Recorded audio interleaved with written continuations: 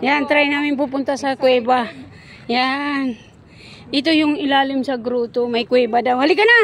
Halika na, ga! Papasok tayo? La, ga, mari. Dito lang, kita, kita lang. Try namin pupuntahan yung ilalim ng makikiraan. kilaan.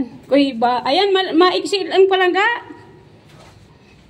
Dapat sinama natin yung dalawang mag-asawa kanina. Tama lang na. Ay, ga, may, ano, may tubig ba yan, ga? Makita mo, ga? Tama lang na.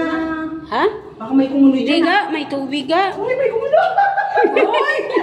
Hindi, may tubig. Ang dilim.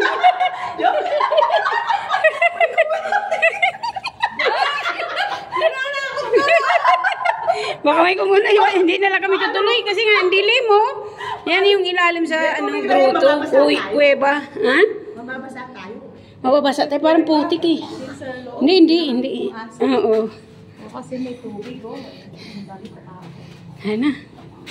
Tara. Hindi. Ba, lab, yung shoes natin.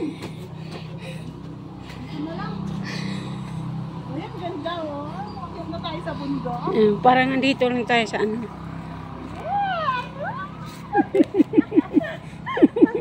Ang saya-saya ni ano, saya-saya ni ano, Arlene. Ano kaya ako makit dito? Ang tagal-tagal kong tumira dito. Kailangan ako pumunta dito. Kaya nga, dapat pumunta ka ga, o kitang-kita pa doon sa baba.